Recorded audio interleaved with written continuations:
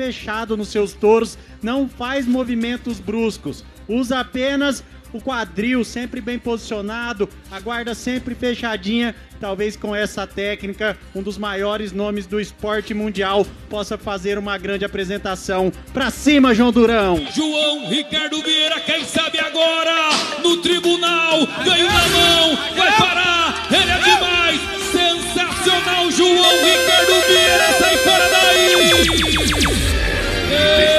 simplesmente um fenômeno do rodeio.